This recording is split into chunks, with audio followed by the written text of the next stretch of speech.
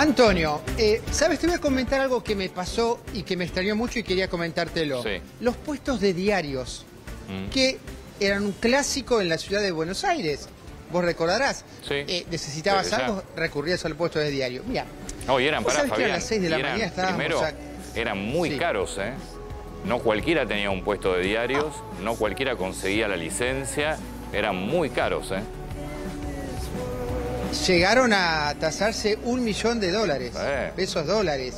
Los y puestos, muchos los lo querían, de, muchos de famosos. revistas de la calle Florida, olvídate, eran una fortuna lo que valían. y, much- y muchos famosos ¿m? quisieron comprar y no podían. ¿Por qué? Porque solamente podían tenerlos si venías de algún familiar, abuelo, padre, hijo, no cualquiera podría acceder a un puesto de diario. Vos sabés que estamos acá en la estación y abre este puesto de diarios. Y me sorprendía, ¿por qué? Porque comenzaba a sacar cosas y cosas y cosas, y lo que no tienen son diarios. Sí, es cierto Vos lo que decís, sí.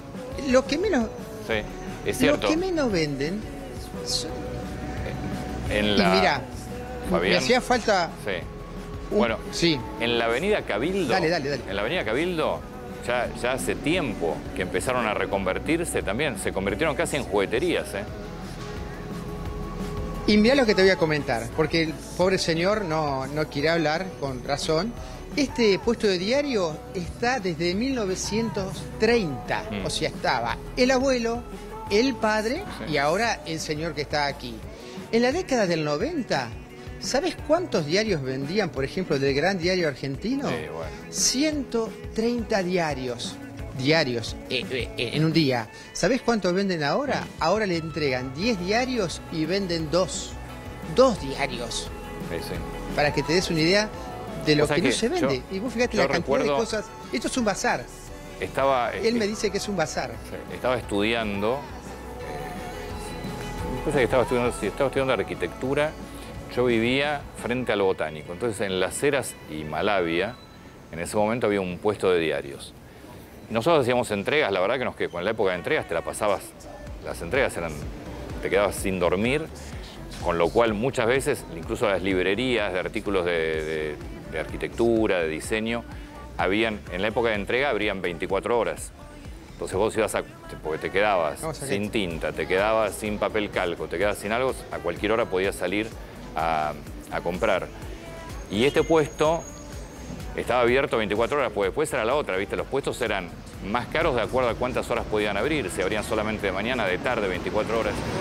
Y, y yo recuerdo, el, el dueño del puesto no estaba nunca, él pasaba una vez por día a retirar la recauda- recaudación y se iba, y se iba al hipódromo, además era Sí, sí. jugador de, Sí, sí. de carrera. Pero era, Era- una vez por- pasaba una vez por día, retiraba la recaudación y se iba. Una máquina de facturar el puesto, no sé lo que era. Era una mina de oro.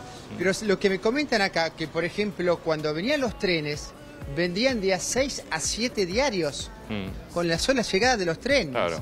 Y ahora pasan todos de largo. ¿Por qué? Porque están todos. Están todos con el. A ver, vos te subís a un tren, vos te subís a un vagón y están todos con los celulares. Antes te subías y estaban todos con los diarios. Vos No, veías a la gente que se- subía el señor Sí. con saco y corbata, inclusive. No, y después las ponía revistas. el diario la- las y revistas, el diario en el subte. los días de salida de las revistas semanales también era todo. Y tenías que preparar, preparar la, la devolución, ¿se acuerdan? Preparaban toda la devolución de lo que le había. Entonces cuando te dejaban las nuevas, se llevaban las viejas, pues se devolvía todo, pues obviamente se volvía a hacer Claro. papel. Pero las revistas Y uno también mismo, vendían. Antonio, esperaba. Esperabas al miércoles para. No sé si salía gente, Sí, alguna de por esas. ahí, por salían ahí, los sí, martes, o los miércoles. miércoles a la noche salían. Y vos las. es- Claro. Y vos Pero- las esperabas para ir al puesto de diarios y ir a comprarlas. No. Hoy te venden hoy, de todo, te venden. verdad- Empezaron hace tiempo a vender los famosos jueguitos, la copia de los jueguitos, la copia de las películas, todo. todo, todo. Juguetería, Sí, de todo. sí, sí. Es como me dice el hombre. Es como me dice el hombre, esto es un bazar. sí. Ya dejó de ser un puesto de diario y es un bazar. Pero es Pero cierto. te digo, te da pena, ¿eh? Porque formaba parte de nuestro folclore ciudadano, si querés decirlo de No, siguen, manera. lo que pasa es que siguen estando, pero ya se han convertido en otra cosa. Pero era realmente, era muy caro tener un puesto, ¿eh? Muy caro.